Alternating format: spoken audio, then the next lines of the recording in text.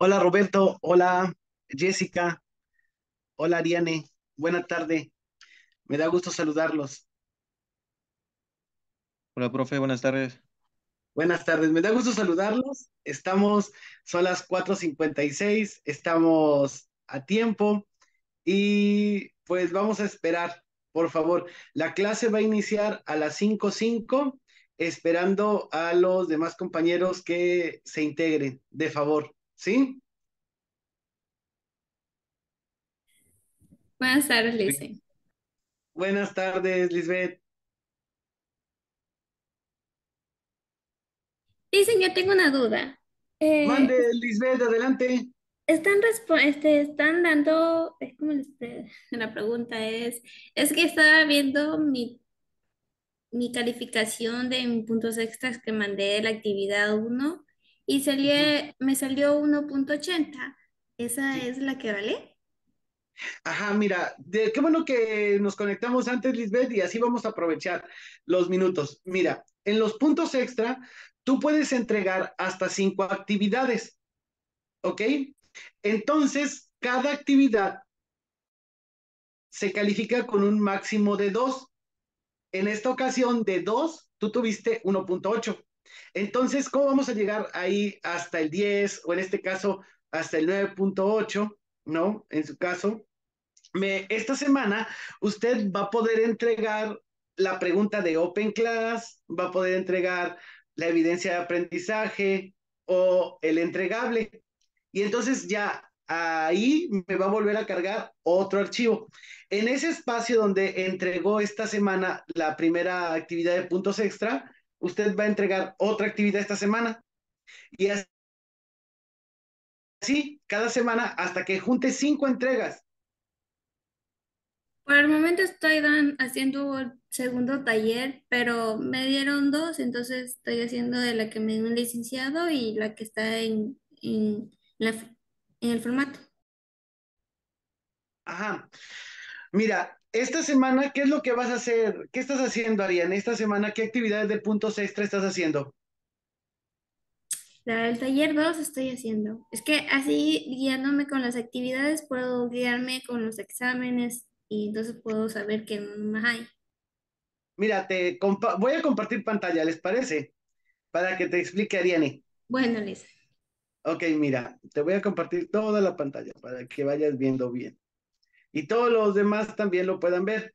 Mira, esta semana me vas a poder entregar. ¿Dónde está? Mira, esta es la pregunta de la Open Class de hoy. Él está abriendo. Permíteme.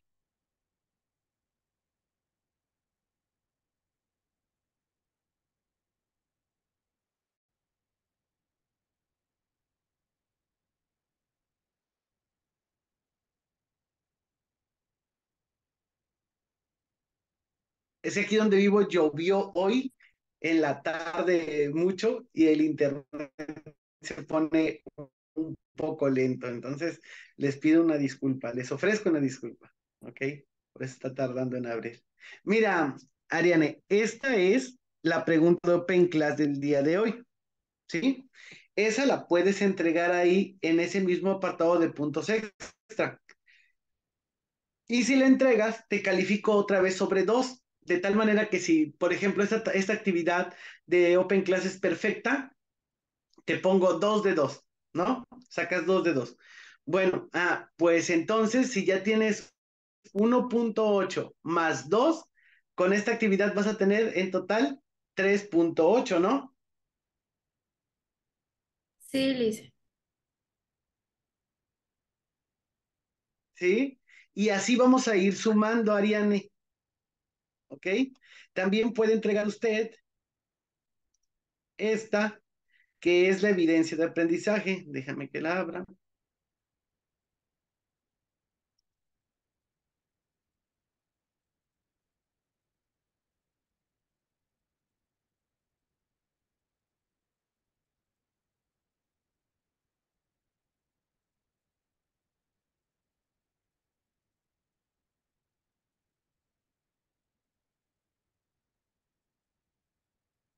Mira, esta es la evidencia de aprendizaje de la semana 2. que te compartimos. Yo soy tu docente, Ariane, ¿eres del grupo 16? No sé, licenciada, no sé de qué grupo seré. Bueno, pero de todos modos, no importa del grupo que seas, eh, tu, tu docente te la compartió el día lunes en un correo electrónico. El día lunes lo recibiste. O si no, en el espacio del profesor también está. Y mira, esa es la evidencia de aprendizaje, la puedes hacer también y esa la entregas en el apartado de puntos extra. ¿Sí? También la puedes subir. Esa es la que estoy haciendo ahorita, Lisa. Ah, perfecto. Pues esta la subes también. La subes. Ahí. Y así vamos a ir subiendo cada semana. Los puntos extras son acumulativos. Solo que podría bajar un poquito más, por favor.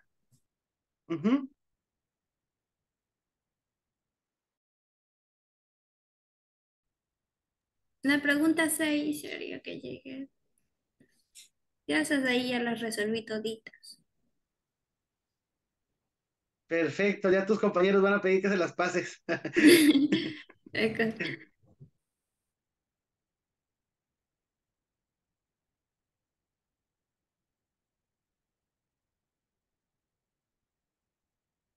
Esa, esa es la que estoy ahorita resolviendo y estoy, por el momento, solamente acerté una, pero estoy leyendo las otras y, ay, me tengo un dolor de cabeza que no estoy dándole ahí. Pues quédese a la clase. Quédese a la clase porque lo vamos a ver ahí. ¿Eh? ¿Queda claro? Sí, Lice.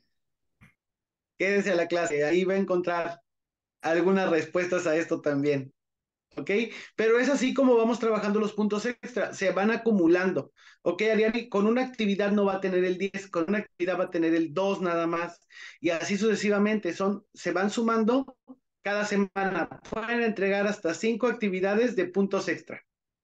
En eso sí, es verdad. Es bueno, en las, en las anteriores, pues salía el 10, pero cuando empezó a salir un 80, yo dije, ¿será que ese es el puntaje que tiene que estar? O, o es Ah, que no, un un 80, 80, dije yo. un 80 y en la retroalimentación el docente te tiene que decir cuál es la que te falló. Pero en ese hay un problema. Yo ya le mandé el mensaje al licenciado porque el que se confundió fue él, porque yo sí resolví la pregunta.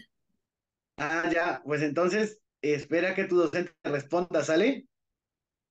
Bueno, gracias igualmente. Bueno, qué gusto tenerte aquí, Ariane, y qué gusto tener. Vamos a checar quiénes son los que están. Dejo de compartir. Partir. Permítanme. Dejo de compartir y regresamos para que los vea todo. Adriana, buena tarde. Roberto, buena tarde. Ariane, buena tarde. Jessica, Nayeli y Ana Aguilar, buena tarde. Me da gusto que ya estén conectados. Ya saben, nos falta un minuto nada más para empezar la clase. Son 5.4. A las 5.5 iniciamos, ¿ok? Bueno, pues ya son 5.5. Vamos a, a iniciar. ¿Sí me logran escuchar bien? Sí, profesor. Perfecto. Me da mucho gusto que estén todos acá. Ya saben que cada semana me da gusto el poderlos saludar. Es algo que me retroalimenta también el estar con ustedes. ¿Ok? Eh, pues vamos a comenzar. Les platicaba a los compañeros que hoy en la tarde estuvo lloviendo aquí donde yo vivo, que es mi Santla, Veracruz. Llovió muy fuerte, entonces mi internet está un poco lento, pero eso no nos impide que empecemos a, a trabajar, solamente que tardará un poquito en cargar la página, por ejemplo, aquí de nuestra presentación. ¿Ok? Bueno, pues nuevamente eh, me presento por si alguien no me conoce de los compañeros que ahorita estamos reunidos. Mi nombre es José Yair Hernández Acosta. Soy docente de la materia Teoría General del Delito y en esta ocasión estoy a cargo del grupo 16. Me da gusto que estén todos ustedes reunidos acá, sean del grupo 16 o de cualquier otro grupo, sean bienvenidos, me da gusto el poderlos saludar. La clase trato de que se haga dinámica, no todo lo leo yo, les pido por favor que vayan participando también ustedes en las lecturas, porque si el docente se pone a hablar y a leer, pues no, ¿verdad? Entonces, mejor, ustedes me apoyan a leer y yo los apoyo explicando un ejemplo. ¿Les parece que así vayamos trabajando? ¿Sí les parece o no? Sí, está bien, profesor. Muy bien, perfecto. Bueno, pues vamos a, a empezar el día de, el día de hoy. Pues ya nos encontramos, como les digo, en la semana 2, nos corresponde ver la unidad 2 y qué es lo que nos tiene que quedar claro en esta sesión. Los sujetos y los objetos del delito. Vamos a tener dos sujetos y vamos a tener dos objetos del delito. Pero eso lo vamos a ir abordando a lo largo de toda esta hora o un poquito más que vamos a estar compartiendo. ¿Ok? Bueno, este es nuestro orden del día. Vamos a dar la bienvenida a los alumnos, ya se las di. Vamos a continuar con la exposición del tema.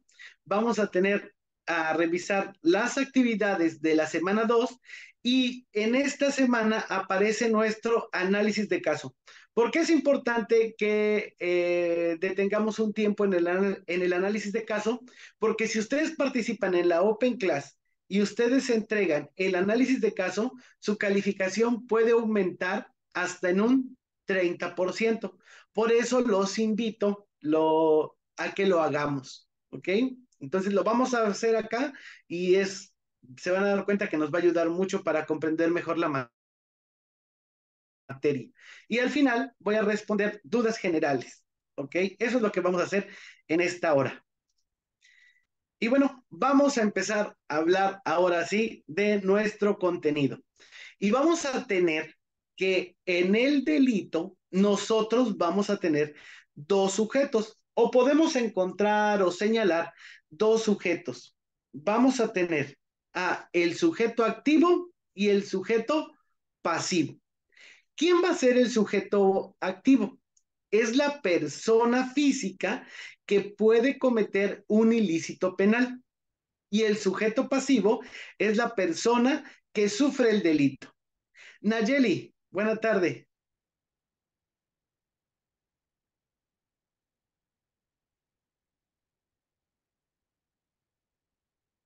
¿Alguien puede hablar? Que prenda su micrófono para que... Sí, maestro, yo. Ah, bueno, Nacheli, buena tarde. Mira, fíjate, aquí tenemos una imagen, ¿sí o no? La estoy señalando. Sí. En esta imagen, ¿qué es lo que tú ves? Pues que una persona está agrediendo a otra y bueno, el activo es el que está agrediendo y el pasivo es el que está recibiendo. Perfecto, exactamente. Por eso les pongo esta imagen, ¿no? Supongamos que estamos ahí y nosotros nos encontramos ante un delito de violencia familiar. Ah, bueno, pues entonces ellos son una familia y la, el sujeto pasivo en este caso es la mujer, la que sufre el delito, ¿sí? Y el sujeto activo es el hombre o el esposo, el que le está agrediendo. Pero ahora, característica muy importante, y subrayenla y anótenla. Es este puntito que dice más. Leemos, Nayeli, por favor. Sí, profesor. La legislación aplicable en torno al sujeto activo en la comisión del delito señala únicamente a los seres humanos como susceptibles de adquirir una responsabilidad penal y no así las personas jurídico-colectivas, ya que nuestro código se aplican sanciones individuales, personales, sin que exista alguna para un ente ficticio. Muy bien. Nayeli, ¿de dónde eres tú? Del Estado de México. Perfecto, Nayeli. Entonces, lo pregunto por si eras de otro país, ¿no? Porque luego se utilizan figuras distintas. En el caso de nuestro país, existen personas físicas y personas morales. Morales. Dime un ejemplo de una persona moral. Una empresa sería el KFC y todo eso. Exactamente, KFC. ¿no? Vamos, a, nos antojó comer pollo frito hoy y vamos a ir al KFC, ¿no? Bueno, ahora Nayeli, te pregunto, ¿tú puedes encarcelar a KFC? No. No, la podemos encarcelar. No se puede encarcelar a KFC. Entonces, ¿qué dice la legislación? Las o la doctrina dice, las personas físicas pueden ser sujetos activos y sujetos pasivos. En cambio, las personas morales pueden ser sujetos pasivos, pero no pueden ser sujetos activos. ¿Ok? Porque no puedo, por ejemplo, encarcelar a KFC. Pero ¿qué pasa? Las personas morales están integradas por qué, Nayeli? Por diversas personas físicas. Físicas,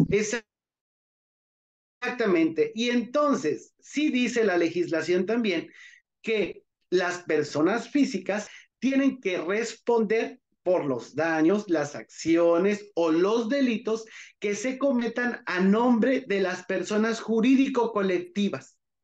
¿Ok? Si bien no podemos encarcelar a KFC, sí podemos encarcelar a sus representantes o a las personas físicas que la integran. ¿Queda claro esto? Sí, profesor. Sí, muy bien. Entonces, esto es lo que tenemos que ver acá. Dice dos sujetos del delito, el sujeto activo, que es quien comete el ilícito penal, sujeto pasivo, quien sufre el delito, pero la legislación nos dice que las personas jurídico-colectivas pueden ser sujetos pasivos, no ser sujetos activos. Y cuando son sujetos activos, son las personas físicas que lo integran quienes responden por los daños a nombre de esa persona jurídico-colectiva. ¿Queda claro, jóvenes? Déjenme leer, vamos a leer el chat. Muy bien. Muy bien, muy bien. Vamos bien. Bueno, pues esto es de acuerdo a los sujetos de el delito. Ahora, ya vimos que el sujeto activo es quien despliega la conducta delictiva. Pero, ¿qué tipos de participación puede tener el sujeto activo? El sujeto activo puede ser un autor material. Permítanme, un autor material. ¿Quién me apoya a leer, por favor, autor material? ¿Quién guste?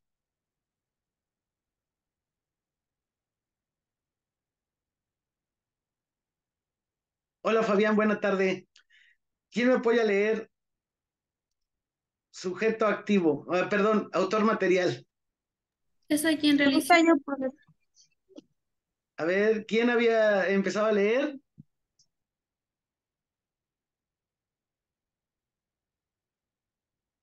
¿Quién había empezado a leer? ¿Ariane? Me chole. a ver. Es quien realiza físicamente el evento delictivo. Lo ejecuta directamente. Muy bien, Ariane. Entonces, el autor material es quien realiza directamente o físicamente la conducta delictiva, lo ejecuta directamente. Por ejemplo, si em, el asaltante, ¿no? El autor material es quien asalta, Juana va caminando por la calle y Juan Pérez la asalta. Él es el autor material, porque Juan Pérez es quien directamente está atracando o está asaltando a Juana. ¿Ok? Ahí tenemos el autor material. Él realiza directamente la conducta delictiva. Después vamos a tener a el coautor. ¿Quién es el coautor? ¿Quién guste leerlo?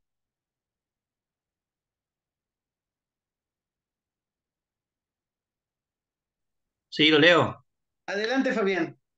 Es quien, en unión de otros autores, responsables ejecuta el delito.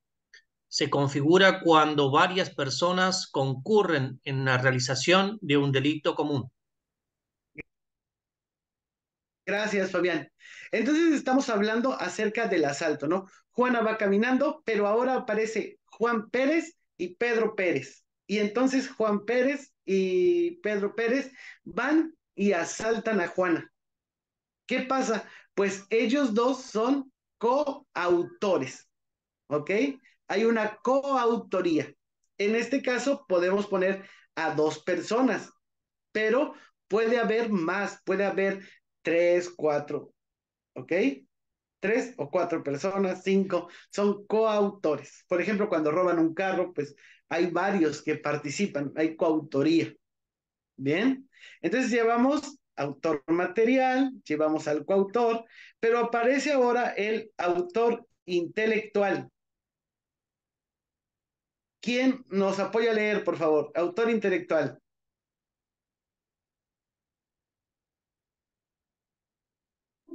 Yo, profesor. Adelante, Nayeli. Los que acuerden o preparen la realización del delito. Muy bien, entonces estamos hablando del asalto.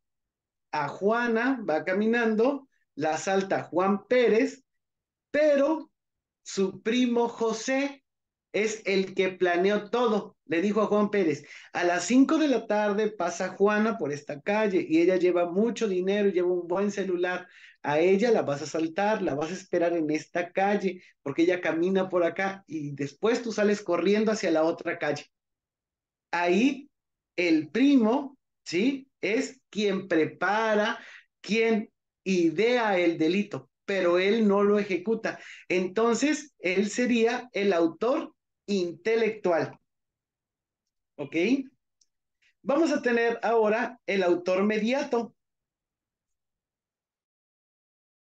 Fíjense que el autor mediato no realiza el delito directa ni personalmente. Entonces, el autor mediato, fíjense eh, que podría ser una persona eh, mediato, acuérdense a la mitad. Está una persona internada y hay alguien que lo, la quiere matar. Entonces, cambia, cambia el, el veneno, eh, lo que le van a inyectar en la intravenosa a ese paciente y se lo pone en la mesa a la otra, a la otra, al enfermero, ¿no? Se lo pone ahí en la tabla al enfermero y ya el enfermero sabe que lo va a, a inyectar y va a producir la muerte, se espera que produzca la muerte. Entonces, ahí hay un autor mediato, ¿ok?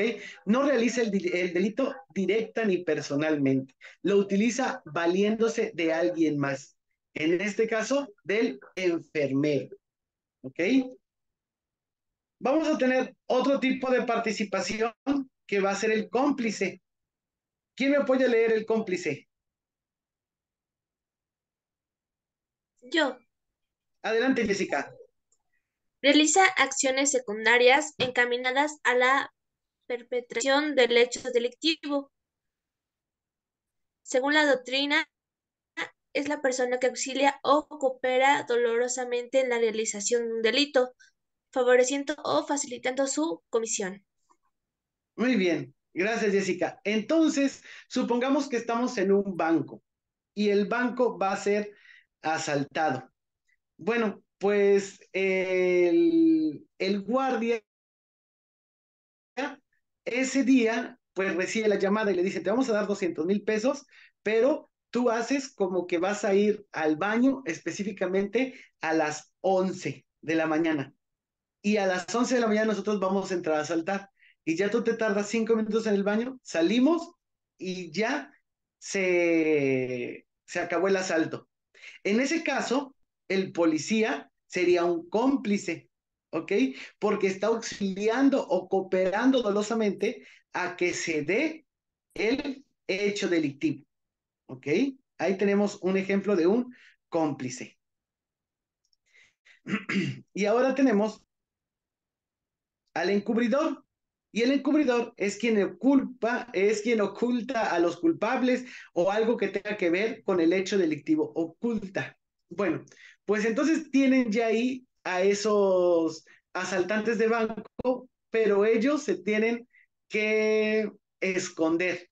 Y entonces Juana Pérez los esconde en su casa y guarda el carro donde ellos huyeron. Juana Pérez sería una encubridora. ¿Ok? Entonces tenemos estas clases de o estos tipos de participación en el hecho delictivo. Ahora, ¿qué puede pasar? Que en la comisión de un delito existan autor material, coautor, autor intelectual, autor mediato, cómplice y también exista un encubridor. ¿Ok? Pero entonces el sujeto activo lo tenemos que encasillar en si es autor material, coautor, autor intelectual, autor mediato, cómplice. ¿Ok? Lo tenemos que encasillar en ellos o encubridor, como está en el más. Ahora, ¿qué es? En ocasiones se asocian personas para delinquir y cuando se asocian se, se forma una asociación o banda delincuente. ¿Quién me apoya a leer asociación o banda delincuente, por favor? Yo. Adelante, Ana. Grupo que se forma por dos o más, o más sujetos que se unen con el fin de delinquir. Cuando un grupo de sujetos se unen para delinquir, pero esta unión no es ocasional, ni por un momento, ni por un momento nada más, sino, sino que debe prolongarse en el tiempo. Los caracteres. Muy bien, gracias Ana. Entonces tenemos la asociación o banda delincuente. Características de la asociación o banda delincuente. Primero, conformada por dos o más sujetos. Y después, su fin, que se unan para delinquir pero que esa unión no sea solamente ocasional, sino que es por un tiempo prolongado, ¿sí? Que es por un tiempo prolongado. Ejemplo de ello son los cárteles. Los cárteles nunca va a operar uno solo, sino que tienen una gran estructura, ¿sí? De varias personas que ya tienen tiempo organizándose de esa manera y su único fin es delinquir. ¿Ok? Y ahí es cuando nosotros podemos hablar de una asociación o banda delincuente. Y ahora vamos a continuar. Y vienen las concepciones sobre la autoría. ¿Ok? Ya vimos nosotros autor intelectual, autor material y todo esto, pero hay teorías o hay concepciones que nos hablan acerca de ello para entenderlo mejor y razonarlo un poco más. Y entonces tenemos la concepción unitaria. ¿Quién me apoya a leer, por favor, la concepción unitaria? Yo. Adelante, Roberto. Sostiene la idea de que no es posible distinguir entre la autoría y participación. En dichos términos, todo sujeto que interviene en un hecho debe ser considerado autor del mismo. Muy bien, Roberto, gracias. Entonces, miren, nosotros tenemos al autor material. Juan Pérez roba una bicicleta. Y Susana es... Eh, perdón, se me fue. Y Susana es... Eh, ¿Qué sería? Cómplice. Y Susana es cómplice porque le dijo eh, dónde podía encontrar muchas bicicletas estacionadas. Ahora dice, autor Juan Pérez, pues él roba, ¿no? Autor material. Susana, pues también tiene una participación en el delito. Pero dice esta teoría unitaria, no es posible distinguir entre el autor y el partícipe, sino que a ambos se les tiene que dar el carácter de autor. ¿Ok? El carácter de autor. Tenemos otra interpretación u otra concepción, que es la concepción restrictiva. ¿Quién lee, por favor?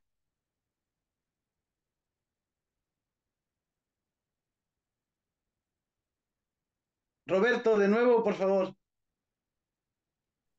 Sí, eh, supone como autor solo a quien comete por sí la misma acción típica, mientras que la sola contribución a la causa, a la causación del resultado mediante acciones no típicas no puede fundamentar teoría alguna. Muy bien, entonces, esta teoría, la teoría restrictiva, dice que solamente vamos a tener al autor como el autor material, o sea, tomando lo que tenemos, autor solamente es quien comete por sí mismo la conducta delictiva. Los demás no tienen carácter de autor. ¿Ok? Tenemos otra, la concepción extensiva. Adelante, Roberto.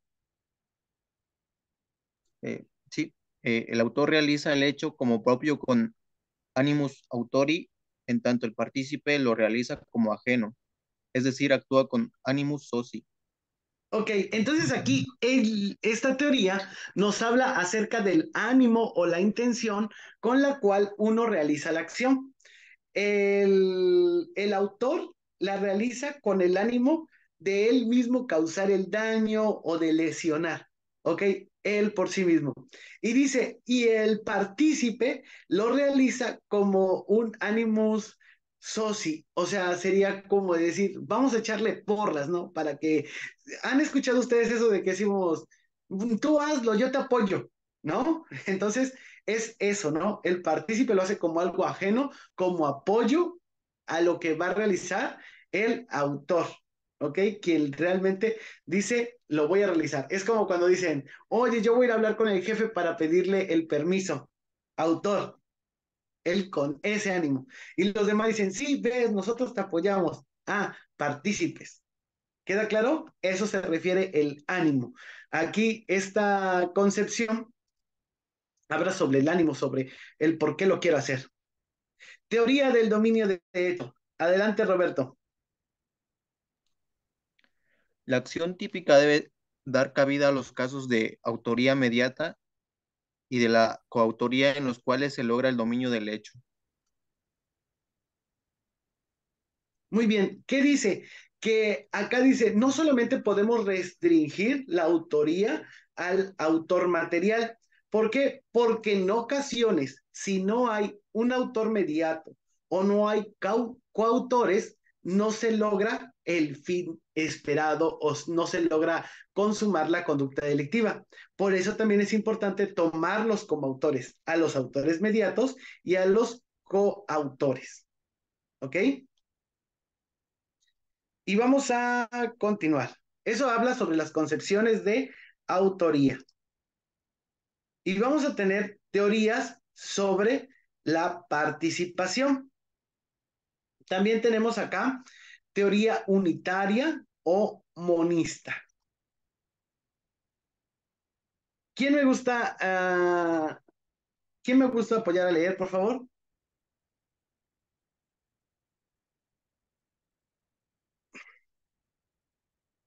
Les pregunto por los que están en el trabajo. ¿Quién puede leer, por favor? Sí, profesor. Ah, adelante, Nayeli. Y después otro compañero habló, lee la siguiente diapositiva. Adelante, Nayeli. Está constituida por aquellos autores que solo aprecian el delito con varias personas, unidad del delito y pluralidad de agentes. Muy bien, entonces, ¿qué dice? Tenemos un delito, pero en ese delito pueden compartirlo diversos agentes. Y nos vamos a dar cuenta más adelante que empecemos, o ahorita lo estamos viendo, que en un delito participan varios, ¿no? O por lo general se da la, la participación de más personas, o que cuando se comete un delito, por lo general trae otros delitos concatenados. ¿Ok? De la causalidad. Adelante, Nayeli.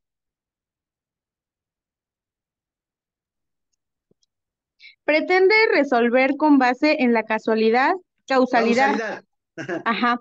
El problema de la participación al respecto considera codelincuentes a quienes contribuyen con su, su intervención a producir el delito. Muy bien, entonces con la causalidad, ¿no? ¿Por qué se causó este delito? Y dice, eh, se causó por todos los que participaron en él. Por lo tanto, todos los que contribuyen, todos los que participan en la comisión del delito son codelincuentes. Ninguno se salva de esa participación. Y por último, tenemos la de accesoriedad. Adelante, Nayeli. Considera como autor del delito solo a quien realiza los actos descritos en el tipo penal. La responsabilidad de los partícipes depende de los auxilios prestados al autor principal, respecto del cual se tiene como accesorios. Las conductas dependientes siguen la suerte de la principal. Muy bien. Autor del delito solamente es quien realiza los actos descritos por el tipo penal. Ah, vamos a verlo en la siguiente clase. El tipo penal es la descripción del hecho delictivo hecho por el legislador. Comete homicidio la persona que mata a otra persona. Quien mata a otra persona, ese es el autor del delito. Todos los demás que participen o que presten algún auxilio a él para cometer ese asesinato son partícipes, ¿sí? Pero son accesorios, pueden estar o no pueden estar. ¿Y qué va a pasar? Pues estos partícipes siguen la suerte principal del autor del delito. ¿Ok? Ahora, la inducción. ¿Qué es la inducción? Adelante el compañero que me iba a apoyar a leer anteriormente, antes de Nayeli. ¿Qué es la inducción? La inducción implica una serie de actividades realizadas por un sujeto a través de las cuales determina a otro de manera dolosa al delito por el, por el cometido. Uno de los elementos fundamentales de la inducción es que el inductor actúe dolosamente, no siendo conveniente punir la inducción culposa, por lo que precisa de los siguientes elementos. A. La causación de un resultado típico mediante la influencia moral o psíquica en otro. Y B, que la causación sea dolosa. Muy bien, Fabián. Gracias. Mira, vamos a poner el ejemplo. La inducción. ¿Qué es la inducción? Me decían en una clase, la inducción es como que empujar a alguien a cometer un delito, ¿no? Así vamos a tomar la inducción. Ahora, pero la inducción que se castiga es la inducción dolosa. Dolosa, porque muchas veces se hace de manera culposa, o sea, platicando algo así, alguien escuchó y lo hizo, ¿no? Pero no era mi intención. Entonces, mande, Fabián. Sí, podría ser el caso de que una persona eh, eh, hostigue para que la otra se cause a sí mismo una lesión o se lleve al, al suicidio, por ejemplo? Sí, mira, Fabián, te vamos a, vamos a poner ejemplos, ¿sale? Fabián, tú supongamos que tienes a un amigo que tiene a su mamá en, con cáncer y se necesita mucho dinero para la quimioterapia. Y entonces tú le dices al amigo, amigo, eh, pues sabes qué, si tú robas este banco, tú vas a tener dinero para pagar la quimioterapia, ¿sí? Tú ya sabes, Fabián, que eso es un delito, ¿sí o no? Tú ya sabes que es un delito. Entonces, ya ahí hay dolo, ya ahí hay dolo. O sea, sí sabes que eso es un delito y estás consciente que si lo atrapan lo meten a la cárcel, ¿no? Entonces ya hay dolo. Ahora, le estás jugando por la influencia moral, por toda esa carga que tiene la mamá, ¿no? O sea, tu mamá te dio la vida, tu mamá siempre trabajó por ti, te dio carrera, pues ahora te toca arriesgarte por ella, ¿no? Estás aprovechando la influencia moral, ¿sí? Sabes que es un delito y lo estás empujando a cometer ese delito. Ahí entonces la inducción, o sea, tú ahí en este caso bien, lo inducirías al robo, ¿no? Y ahí la inducción sí es castigada. Ahora, eso en caso de la influencia moral. Y ahora viene la influencia psíquica a otro. En ocasiones hay gente que droga a alguien, alcoholiza a alguien para que cometa un delito. ¿Sí? Entonces, esa es otra eh, característica que puede tener el dolo. O sea, tú lo debes de causar mediante la influencia moral o psíquica. ¿Queda claro, Fabián?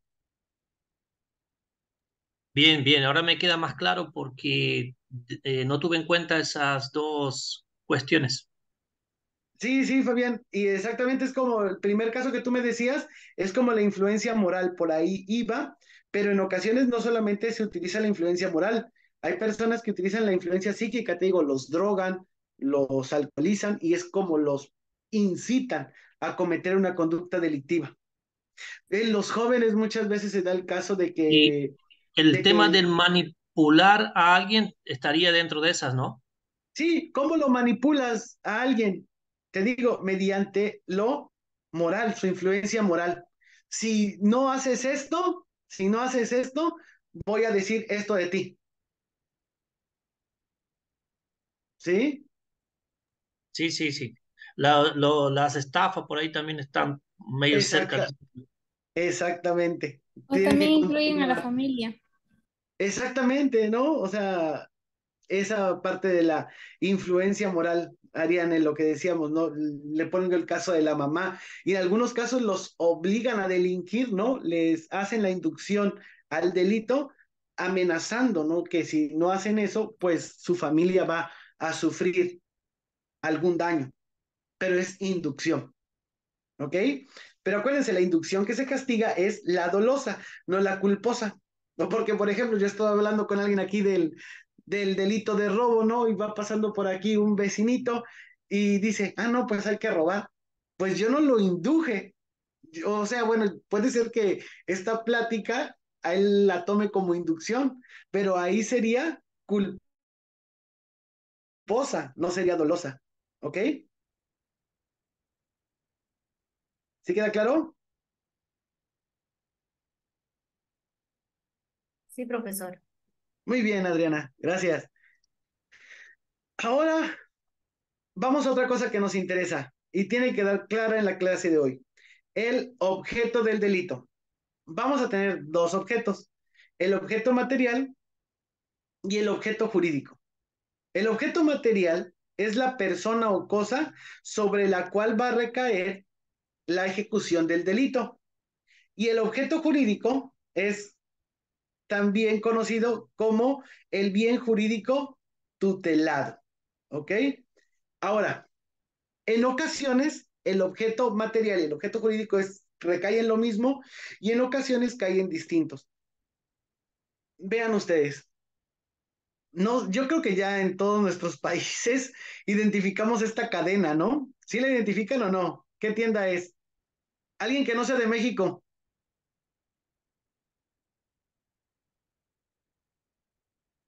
alguien que no sea de México, ¿sí le identifica o no?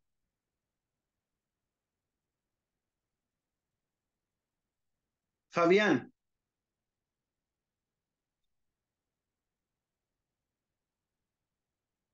No, yo no. No, no, Fabián, no le identifica. Ah, bueno, le, para los que no son de México, les platico en cada, aquí ya casi cada dos cuadras tenemos una tienda de estas. Es de Oxxo. Se llama Oxxo y pertenece a la misma, a los mismos dueños de Coca-Cola. ¿Ok? Entonces es una tienda que ha proliferado mucho. Un Oxito, exactamente, Nayeli. Hay, hay mucho de este. Bueno, pero es una tienda de conveniencia. Es una tienda de conveniencia.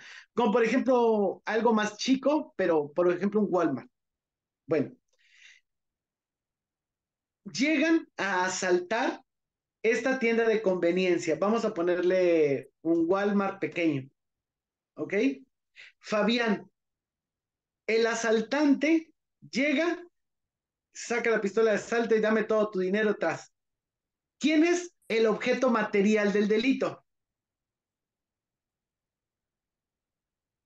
En ese caso. Sí, si va a saltar, eh, va a pedir el dinero, va a ser el dinero. No, la persona. Sería el cajero, profesor. El cajero es la persona sobre la cual recae el delito, porque es un asalto, ¿no? En cambio, si llegara alguien y metiera el la mano en el cajón de la caja, ahí sí sería el dinero, ¿no? Pero en este caso, en este caso vamos con la pistola y al, y al cajero, ¿no? Muy bien, entonces sería la cajera. Pero el objeto jurídico tutelado ahí en el asalto, ¿cuál sería, jóvenes?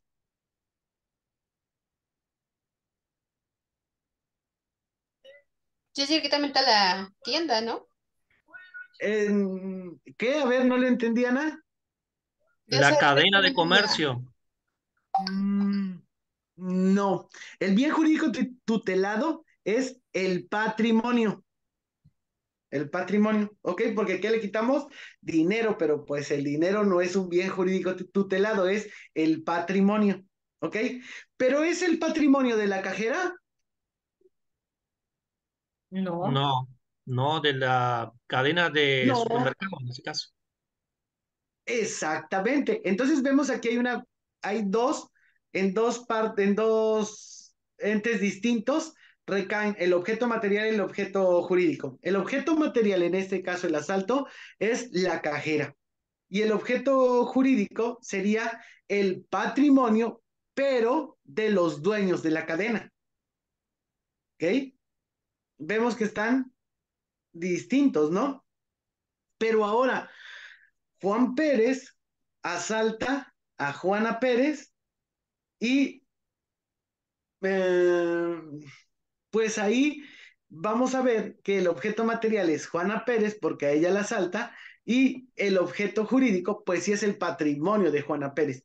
Igual que se da en el caso de cuando asesinan a alguien, ¿no? Asesinaron a Juan Pérez. Entonces, el objeto material, ¿sobre quién recayó el daño? Sobre Juan Pérez. Y el objeto jurídico, pues la vida de Juan Pérez. ¿ok? Recayó sobre Juan Pérez, el objeto material y el objeto jurídico. ¿Ok? Vamos a tener lo siguiente, el daño penal. ¿Qué es el daño penal? Quien guste leerlo, por favor.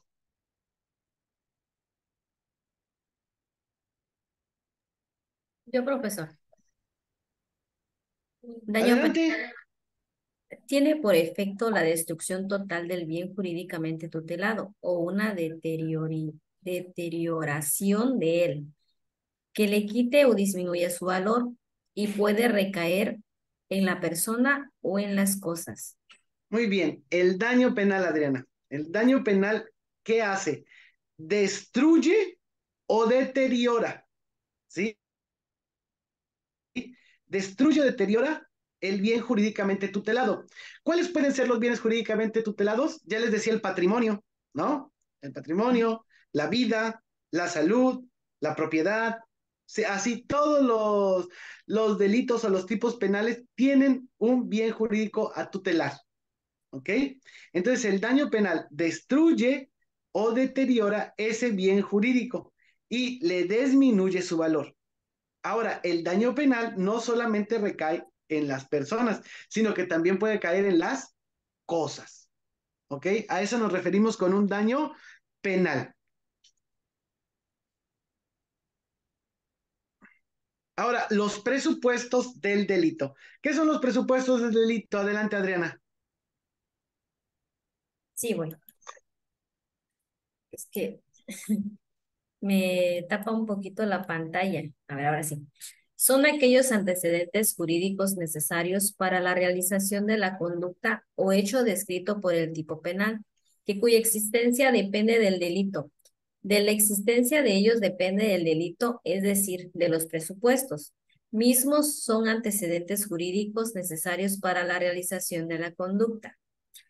Estas se dividen en generales. Son los comunes o todos los delitos, que son los sujetos, el sujeto activo, sujeto pasivo, objeto material y jurídico, entre otros, y especiales solo exigidos en unos delitos. Por ejemplo, en femicidio, eh, femicidio.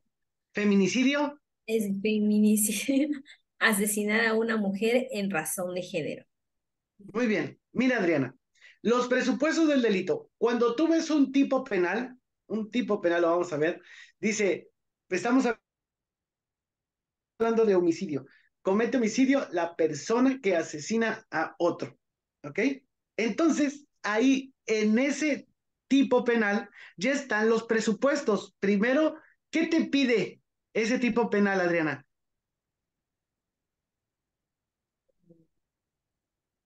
¿Qué te pide? Para que exista una persona que mate a otro. De otro, ajá. ¿no? Entonces, ya ahí nos está diciendo el sujeto activo. El sujeto pasivo, pues, el asesinado. ¿Sí o no? También nos va a decir el objeto material, que va a ser la vida del asesinado, o no la vida, el, el asesinado, la persona sobre la cual recae. Ahora, el bien jurídico, la vida del asesinado. Todos estos elementos, los generales, se van a encontrar en todos los delitos, en todos los delitos. Los presupuestos de delitos son los, las características básicas que debe cumplir la conducta delictiva para que digamos, hay delito, ¿no? Pero, por ejemplo, va Juan Pérez y empuja en la calle a Pedro y yo lo quiero acusar de homicidio, pues no, no se da, no lo asesinó, no puedo encuadrarlo en ese delito, ¿ok? Ya después, cuando ustedes entren a delitos en particular, se van a dar cuenta de otra cosa, ¿no? Hay gente que llega queriendo acusar violación cuando no hay violación, hay estupro, ¿no? Y entonces investiguen ustedes en la semana qué es el estupro, ¿no? Eh, hay diversas figuras, pero por una característica pequeña o no tan significativa, no encuadran el tipo penal. Entonces, tenemos que ver los presupuestos del delito generales que están en todos los delitos y hay algunos que nos dicen eh, que son especiales. Por ejemplo, en los especiales nosotros podríamos tener el, el de enriquecimiento ilícito. Una persona para que se le pueda juzgar o acusar el enriquecimiento ilícito, tiene que tener unas características, como por ejemplo ser funcionario público o ser una persona civil, pero que maneje dinero público. Si no tiene esas características, no se le puede acusar de enriquecimiento ilícito. ¿Ok? Ahora, por ejemplo, Adriana, si a mí me asesinan, al que me asesinó, ¿lo podrían acusar de feminicidio? ¿Cómo? Si a mí. Si a mí, bueno, usted viene y me asesina a mí, ¿la pueden acusar a usted de feminicidio? No. ¿Solamente por qué? Porque es usted hombre. Exactamente, exactamente. Entonces, eso es especial, ¿ok? El feminicidio es algo especial porque solamente se comete contra Las mujeres. ¿Queda claro? Entonces hay Presupuestos del delito en general, que incluye el sujeto activo, sujeto pasivo, objeto material y objeto jurídico que hoy vimos, que todos los delitos lo contienen, ¿sí? Y en, en algunos casos hay presupuestos especiales, como por ejemplo, ya lo dijimos, el enriquecimiento ilícito y el feminicidio. ¿Queda claro? Sí, profesor. bueno, pues yo... Mande. Sí, le cuento una anécdota Adelante, Fabián. Sí, vos usted sabe que acá nos pasaba antes en la policía que cuando los oficiales tomaban las denuncias, después se, se, le ponía una carátula. O sea, se le pone una carátula. Pero ¿qué hacían? Lo erraban el tipo. Entonces después llegaba y era una confusión porque, como usted mismo dijo, una cuestión mínima puede dar un resultado de tipo distinto. A donde se encamina. Inclusive podían hacer una apelación donde dejar, o sea, fue mal caratulado y por ende no corresponde, ¿no? Quedar libre por esa cuestión únicamente. Por más que éramos auxiliares de la justicia, eh, teníamos la mala costumbre de, de tomarnos esa atribución que le pertenece al fiscal, ¿no? Sí, sí, Fabián, perfecto el caso que tú nos pones. O sea, si nosotros vamos e iniciamos un proceso y no está bien tipificada la conducta, ¿no? Con el tipo penal, ahí la persona puede decir, no hay ese delito y por lo tanto, lo que tú me dices se va, ¿sí o no? Se va por la libre, porque mm, lo acuso de algo que no encuadraba. ¿Queda claro? Es, por ejemplo, le digo, viene la compañera, me asesina a mí y mi abogado, bueno, el abogado de mi familia, porque ya ni estoy, el abogado de mi familia la quiere acusar de feminicidio en lugar de homicidio. Por ese simple hecho, aunque ella me haya asesinado, se va a ir. ¿Queda claro? Por eso tenemos que ver esos presupuestos del delito, los generales y los especiales. Además, adelante vienen actividades en las cuales les van a preguntar todo esto y nos ayudará a entenderlo mejor. ¿Ok? Bueno. Y ahora tenemos esto de las 10 de la semana. Pero vean, vamos a empezar con el 5. Con el 5. Fabián, leme el punto 5, por favor. Sí.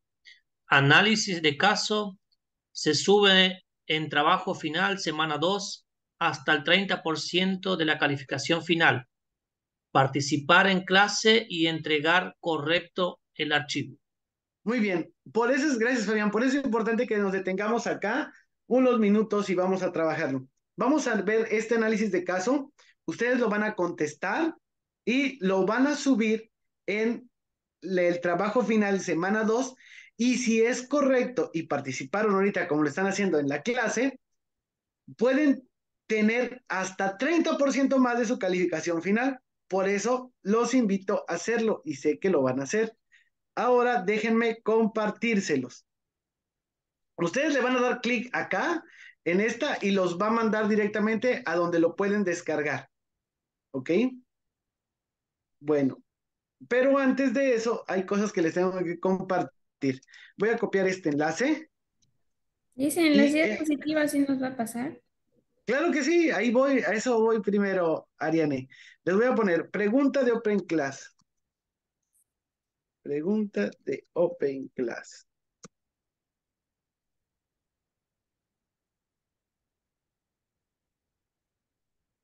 Ahí está. De ahí pueden descargar la pregunta de Open Class. Diapositivas de la semana.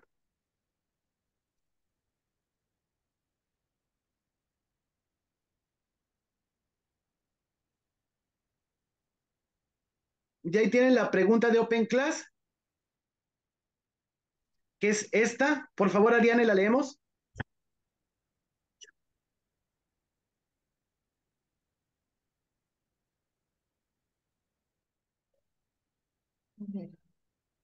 Preguntas de investigación para la Open Class de la semana 2.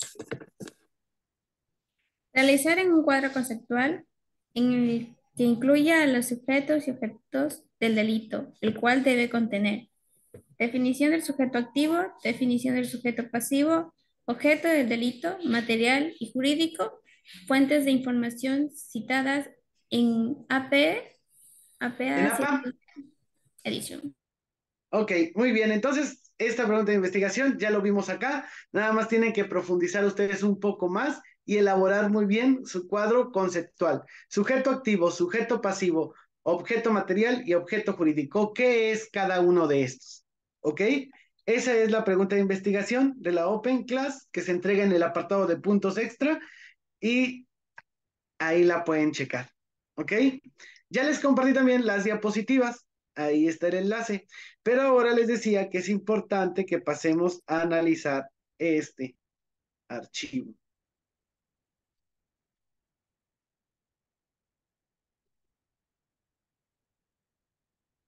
Ok, está cargando.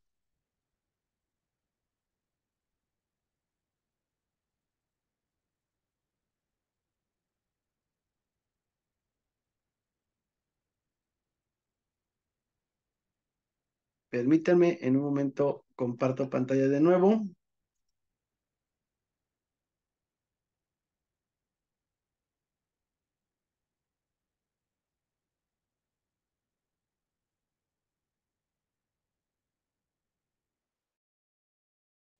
Voy a ampliarlo, permítanme.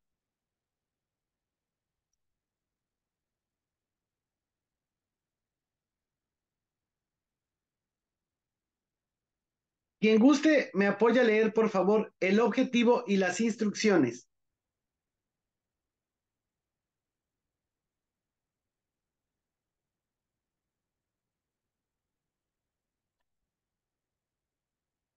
¿Quién me apoya a leer objetivo e instrucciones? Por favor.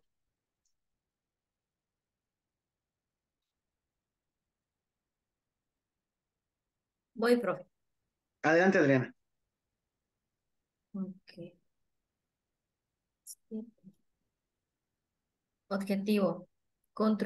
contribuir a tu aprendizaje y a una mejor comprensión del contenido que se aborda en esta unidad.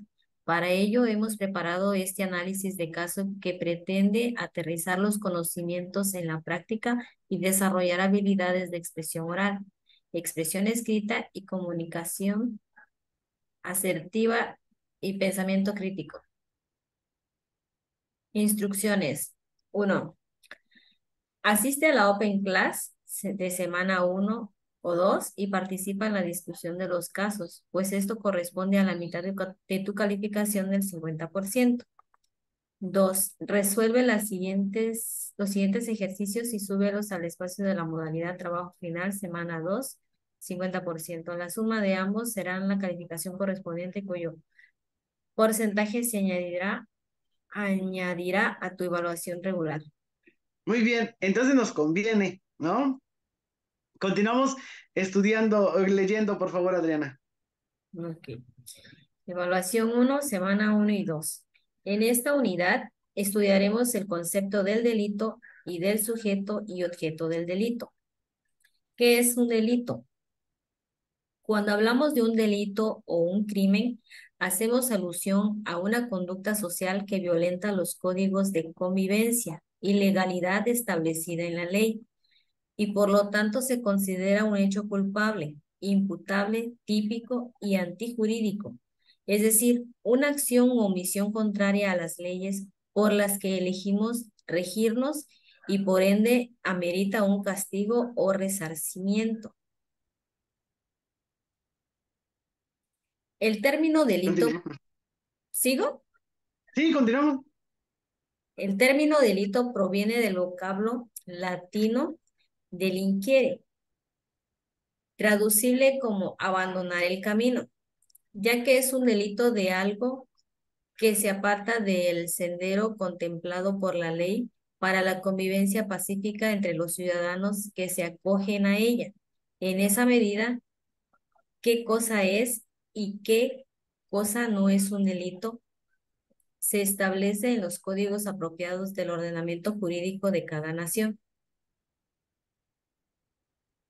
Por ende, lo que se considera o no delito cambia en el tiempo y refleja los valores legales, culturales e históricos de una sociedad determinada. En ese sentido, la mayoría de los códigos penales se abstienen de incorporar definiciones dogmáticas del delito, sino de limitarlo a partir de aquello que está permitido y aquello que no. Los delitos son materia de estudio de la teoría del delito una rama del derecho penal que propone una jerarquía para la concepción de las conductas únicas, según la cual la reincidencia constituye un delito más grave de la primera ofensa. Por ejemplo, o que la flagrancia facilita la ejecución del castigo al no haber lugar a interpretaciones de lo ocurrido. Sujetos del delito. Son las personas cuyo interés es uno ilegítimo que arremete al otro. Colisionan en la acción delictiva. Pueden ser determinados cuando la ley no requiere una característica específica o determinados. Cuando se requiere de una calidad especial para poder cometer el delito. Ser servidor público para poder cometer uno de los delitos cometidos de los, por los servidores públicos, por ejemplo, o ser mayor de 12 años y menor de 18 para poder sufrir el delito del estupro. ¿Sigo, profesor? Quien guste, continúe. Quien guste continuar la lectura, sujeto activo, sujeto pasivo.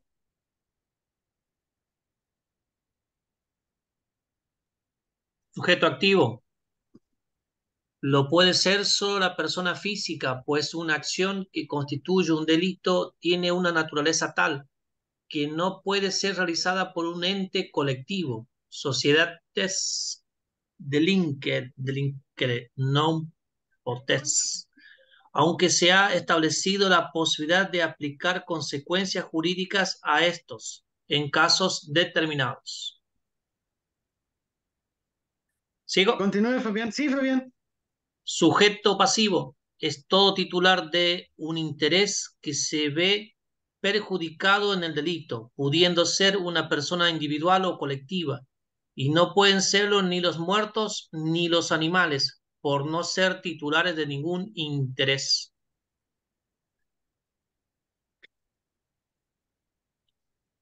Adelante. ¿Sigo? Sí. De aquí se desprende la pregunta sobre la que reflexionarás en esta unidad. ¿Quiénes son los sujetos y objetos del delito? Muy bien. Sí, muy bien, gracias. Ahorita vamos a leer este caso práctico, pero primero vamos a ver lo que nos van a preguntar.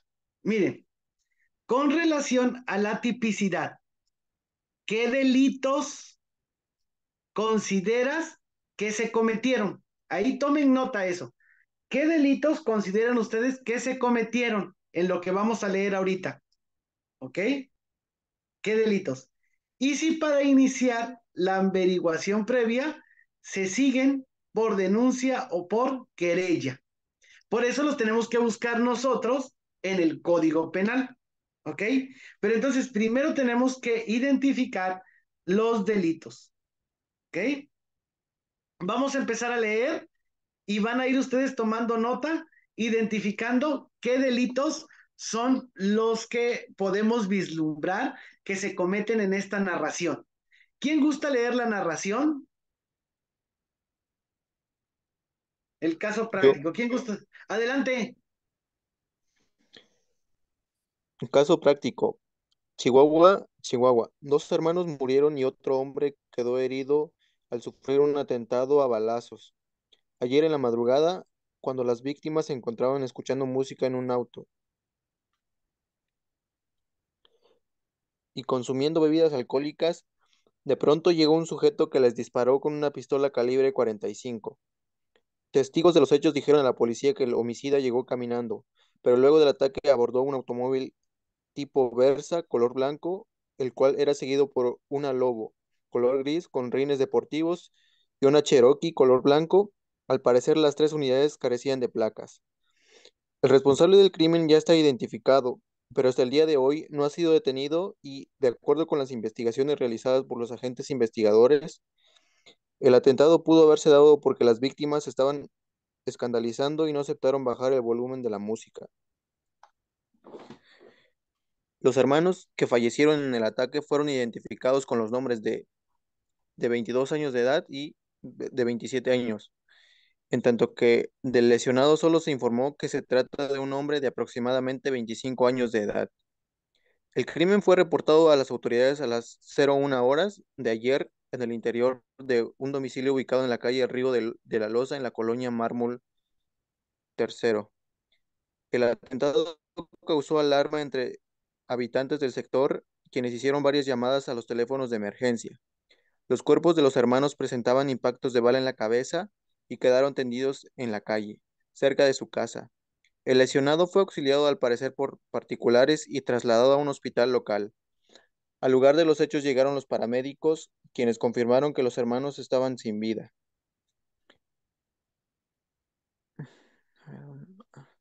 Agentes de la Fiscalía General del Estado iniciaron con las investigaciones del caso, asegurando en el lugar diversos casquillos percutidos calibre 45 milímetros, en tanto que los cuerpos de los dos hermanos fueron trasladados a la CEMEFO para, para la, necropsia correspondiente. Gracias, Roberto, muy amable. Entonces, los demás ya escuchamos el caso, ¿sí? Eh, unos vecinos, ¿no? entre ellos dos hermanos, estaban eh, escuchando música muy alto y alcoholizándose en la calle y alguien llega y les dispara, ¿no? Y cuando les dispara, los dos hermanos mueren y uno más queda lesionado. Bueno, ya ahí se supone que los vecinos empiezan a decir que el por qué podría haberse dado la, la agresión y todo eso, pero con lo que hemos hablado ya no, ya podemos identificar qué delitos son los que podemos nosotros identificar en esa narración, jóvenes. ¿Qué delitos?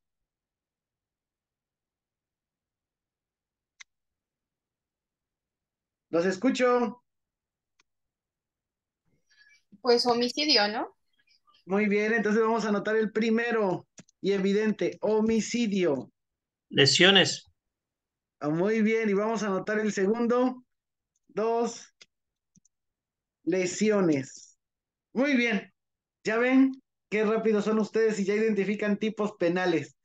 Asesinato. Víctor, eh, si usted es de México, el asesinato no lo tenemos como tal.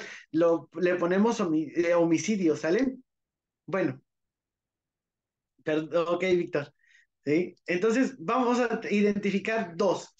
Homicidio y lesiones. Entonces ahí, perdón, moví mi cámara. Dice, ¿qué delitos se cometieron? Ahora, vamos a poner coma. Y ya que pusimos la coma, vamos a buscarlo en... Me dicen si ven ustedes ya aquí mi internet o no. ¿Ya lo ven? Sí, sí, sí. Muy bien, vamos a buscar en Google. Y les voy a pasar el enlace ahorita.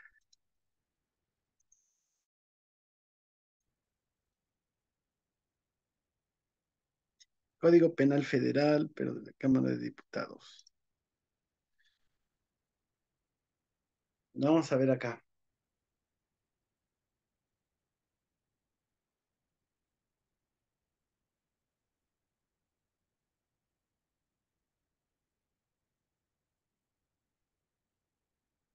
Entonces voy a compartir de una vez acá. Código Penal Federal. Yo los comparto por el chat. Bueno, y entonces nosotros ya aquí tenemos el código penal, ¿no? Vamos a buscar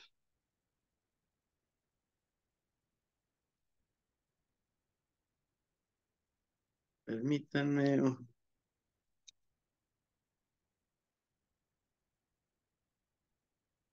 Mm, ese acá no me permite buscar, ¿verdad?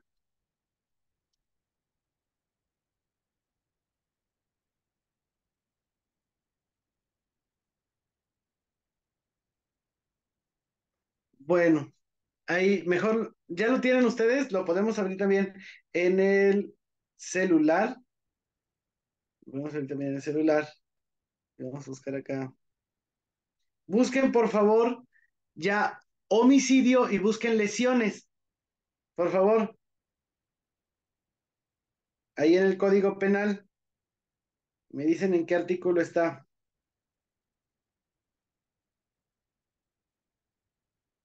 Pero dicen en de la semana, la primera semana hay uno donde dice contra la vida tenemos homicidio alto que... Ajá, pero ¿en qué página te, en qué artículo tenemos ya específicamente el tipo penal? En el 147 me dicen Ayeli, vamos a checarlo. 147.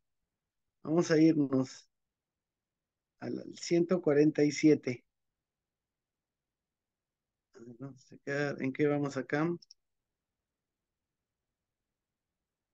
Ya me pasé.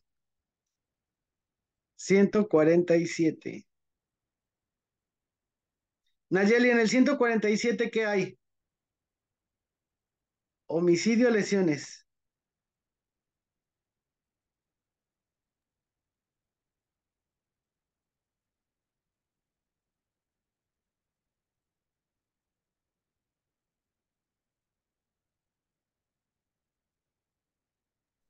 En el capítulo 2 de la página 107 está la de homicidios.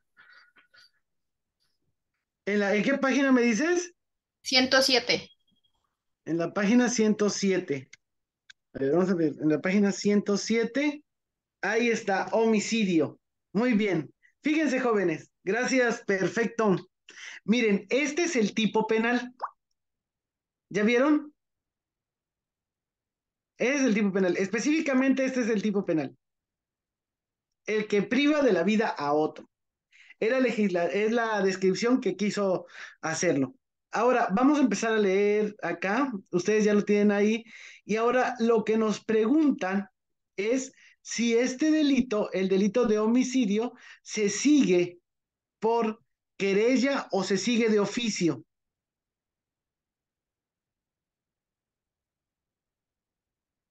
Lean ahí, por favor.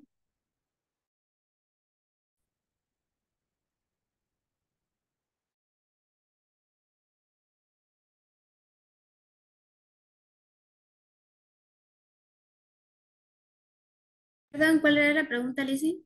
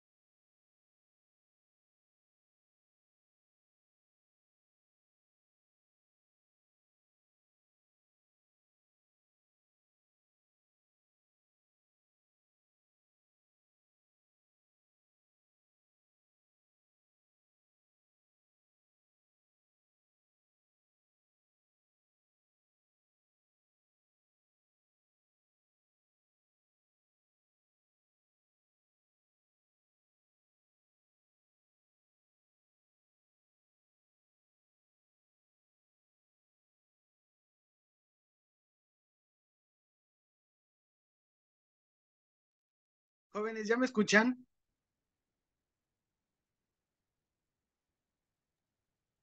Sí, muy bien. Como se pueden dar cuenta, se me fue la luz. O sea, se nos fue la luz aquí en la, en la cuadra. Eh, les pido, denme nada más un minutito, déjenme prender, ver cómo le hago para prender una luz y me puedan ver, ¿sale? Permítanme tantitito. Mientras, seguimos eh, contestando la pregunta, ahorita la, la respondemos.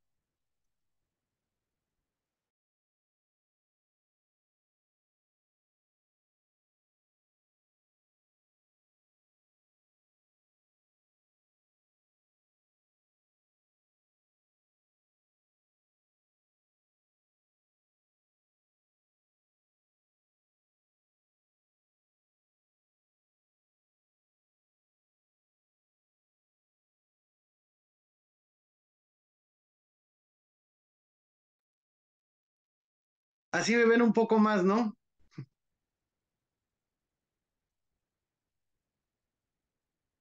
Sí, muy bien. Gracias. Entonces, vamos a continuar.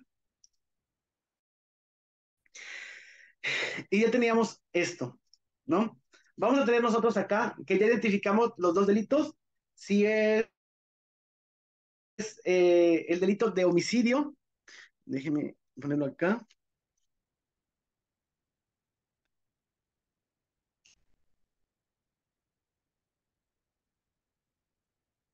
Vamos a ponerle, ¿en qué artículo lo encontramos el homicidio, jóvenes? Artículo 302. Artículo 302.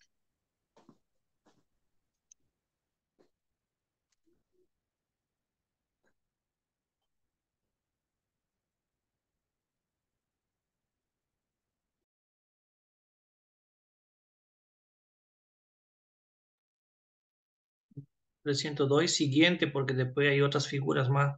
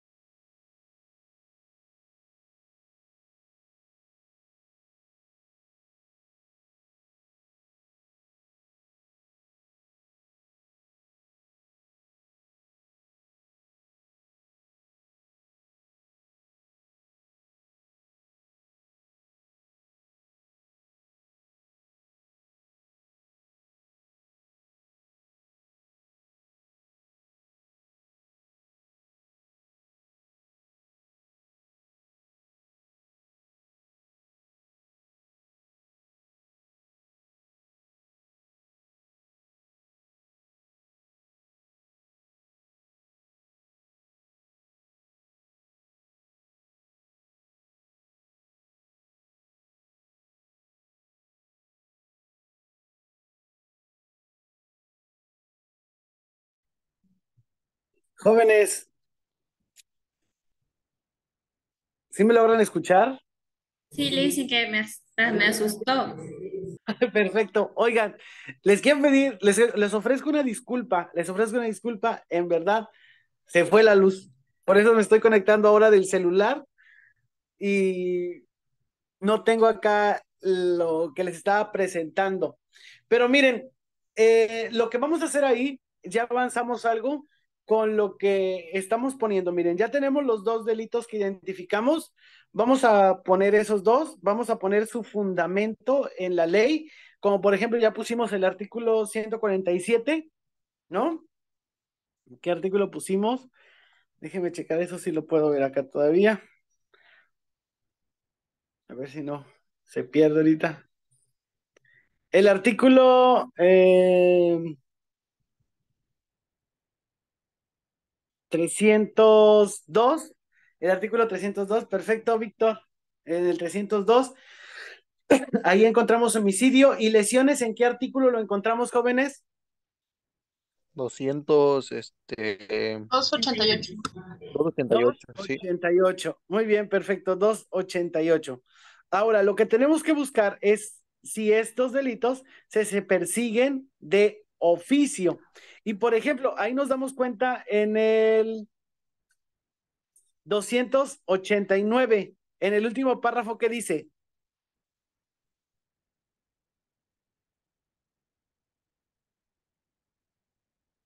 Artículo 289, último párrafo. Al que infiera una lección que no ponga en peligro la vida de los... ¿No se me escucha? Sí. El ofendido y tarda en sanar menos de 15 días. Se le impondrá de 3 a 8 meses de precisión o de 30 a 5 días. Pero la, el último párrafo.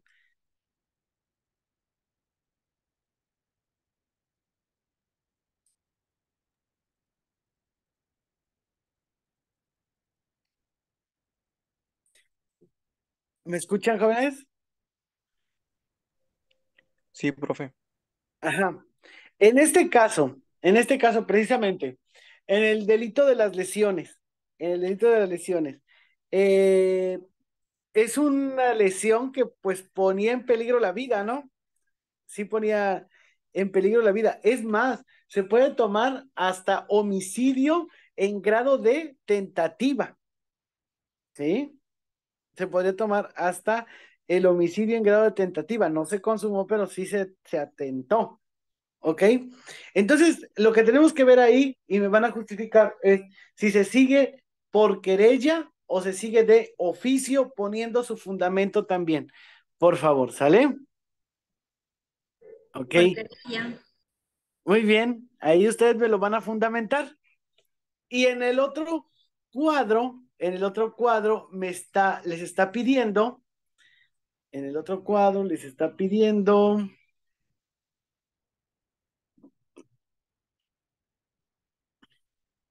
Listen, sí nos mandó ese documento que estamos haciendo porque yo no lo encuentro.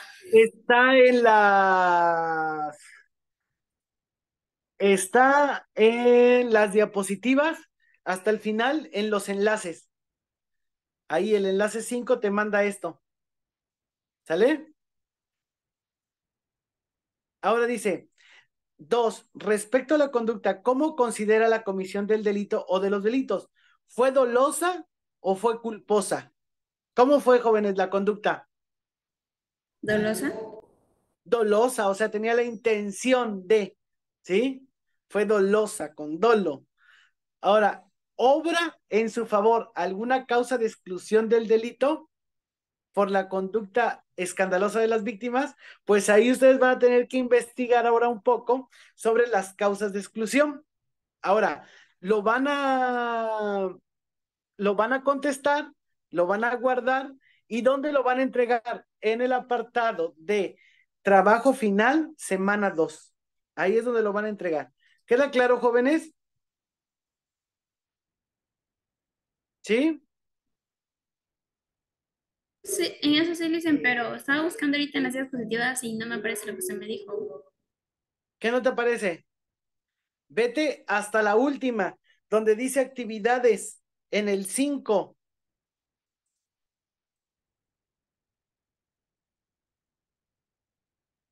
Ya, ya llegué ahí. Pero. ¿Y qué le dice ahí? Análisis de caso. Se sube Ajá, en análisis de caso. Semana 2 hasta 30 En análisis de caso. Ahí le vas a dar ahí donde está el internet, las rayitas, las rayitas de internet del 5. Ah, ya, ok, ya, ya lo toqué. Y ahí, y ahí te va a mandar a eso. Bueno, para los compañeros que están en la modalidad de exámenes, ahí en esa diapositiva, en la última lo pueden ver. Esta semana tienen que hacer el examen de la semana 2. Para los compañeros que están en la actividad, en la modalidad de actividades, hay que contestar el foro 1 en la segunda etapa y no se olviden de retroalimentar lo que comparta algún compañero. Asimismo, los de actividades esta semana tienen que hacer la tarea de la semana 2. Y les recuerdo a ustedes, realicen los puntos extra, la evidencia de aprendizaje, los entregables y la pregunta de Open Class. ¿Ok? No sé si tengan alguna duda respecto a lo que tenemos que entregar esta semana y a lo que vimos, jóvenes.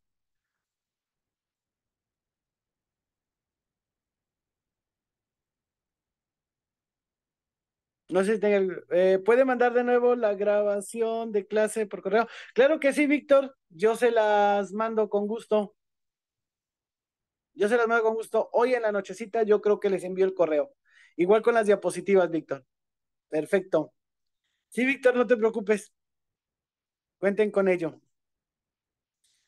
¿Los demás? Dice ¿Algo más? eh, Mande. elementos de tipos penales con ejemplos de negati- negatividad, ¿en dónde los podría encontrar? ¿Los qué? A ver, per- permítame, no le escuché. ¿Los qué? Los, los elementos del tipo penal con ejemplos de negatividad, ¿en dónde los podría encontrar? A ver, ¿en dónde están? ¿En dónde te los pide? En la evidencia de aprendizaje. En la que usted me mostró la primera que yo le dije que estaba confundida, en la primerita, de la segunda misma. A ver. Elementos del tipo. Negativo. Ah, pues mira, hay muchísimo material sobre, sobre eso. Déjame checar aquí en la plataforma en qué semana ya ven tipo penal. Espérenme. Déjenme ver acá para que lo pueda ver. En el temario. Vamos a checar. Te voy a decir ahorita en el contenido de qué semana lo vas a encontrar. En el contenido.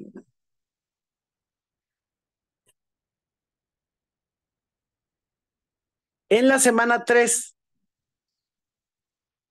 En el material de la semana 3 lo vas a encontrar.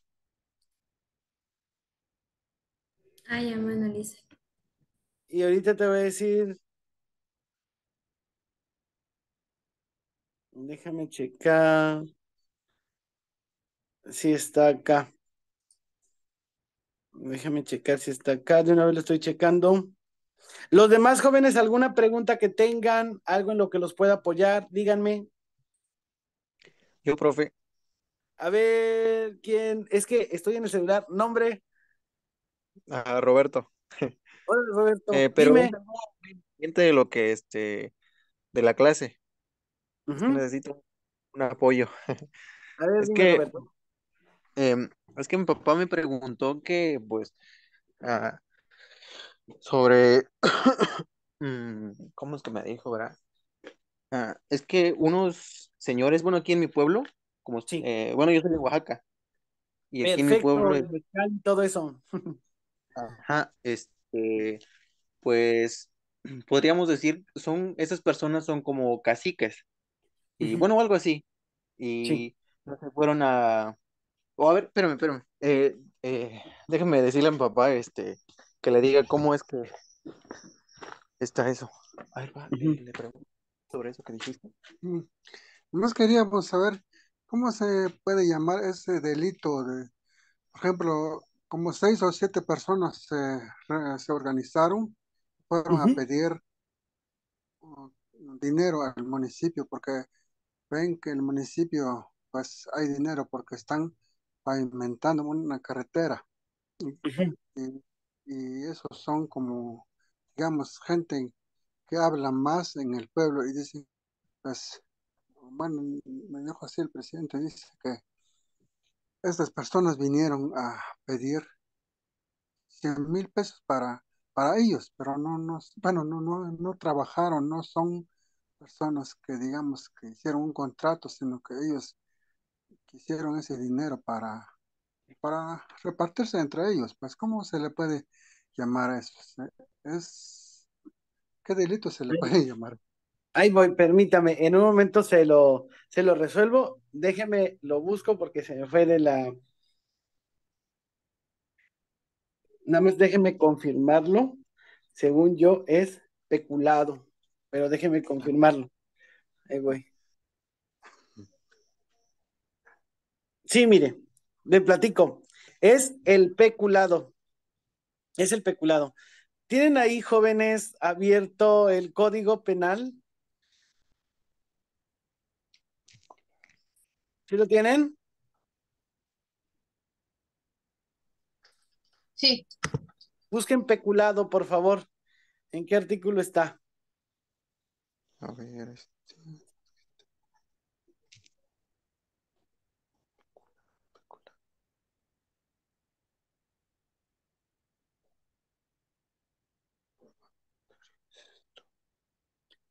Artículo 223. 23, sí, 223. Vamos al artículo 223, por favor. Al artículo 223. Perdón que los tengo a oscuras y nada más con la luz del celular y la cámara, pero no hay luz. ¿eh? 223.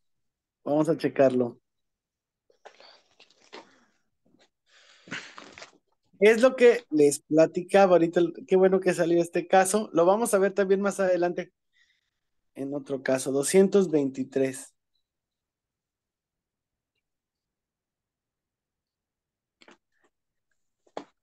Um,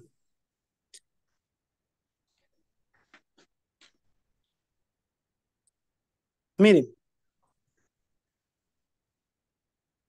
comete el delito de peculado, pero vámonos al punto 4. ¿Quién lo lee, por favor? Al punto 4. Yo lo leo, profe. Adelanto, adelante. Cualquier persona que sin tener el carácter de servidor público federal y estando obligada legalmente a la, a la custodia, administración o aplicación de recursos públicos federales, los distraiga de su objeto para usos propios o ajenos o les dé una aplicación distinta a las que se les destinó. Ok, entonces. ¿Luego lo demás? No, Mira, lo que me platicó eh, era su papá, ¿verdad? Sí. Sí, entonces esos señores fueron a pedir dinero, ¿no? A nombre de la comunidad para un bien público, ¿no? Y se iba a destinar para ello, eran 100 mil pesos, tal vez para unos columpios, no sé, para algo. Entonces, eso tenía una aplicación. En este caso, estamos en el de cualquier persona, ¿no? Aunque no tenga el carácter de servidor público federal. ¿Queda claro? Hay que ver con qué características se les dio el dinero y principal, hay que ver si realmente el, el presidente municipal les dio el dinero o ni se los dio, ¿no? En primer lugar, hay que tener la certeza de que esas personas recibieron el dinero. Ah, pues no, bueno, me dijo que no, no lo recibieron, pues. Solamente lo fueron a...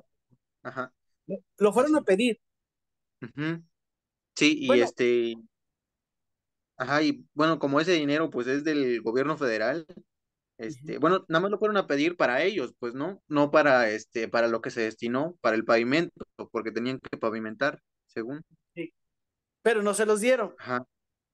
Ajá, no. Bueno, no, la verdad no, no, no se los dieron, dice. Ah, bueno, mientras no se los hayan dado, no los podemos acusar de nada. Pero digamos, si lo, si se los dan, pues sí se le, conoce peculado, ¿no? Exactamente, si se los dan, ellos tendrán que demostrar que realmente se aplicó para lo que se los dieron. Si no, se da el Ah, peculiar. ah, ajá. Ah, sí, sí, sí, sí. Muy ya. ¿Queda claro? Ah, bueno. Sí, sí, sí. Bueno, Gracias. pues ya bien, hay que encuadrarlas. Oigan, qué bueno que pasó. Hay que encuadrar las conductas con el tipo. Bien, Sí. nos sirvió. Bueno, jóvenes, ¿tienen alguna otra duda? Sí, yo con el. Ah, de el, veras. el que nos mandó recién sobre el sujeto activo, sujeto pasivo y el objeto del, del- del delito. Eh, ¿quiere con descripciones y ejemplos o solo con nuestras palabras en cómo lo entendemos? No, ya buscándolo en el texto, en los textos de estudio de la semana. Mm, Ay, mis líos. Cuando usted entra a la semana, ahí le aparecen los materiales de estudio.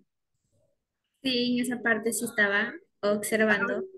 Con base en esos materiales de estudio, en eso me hace el concepto de sujeto pasivo, sujeto activo, objeto material y bien jurídico titulado.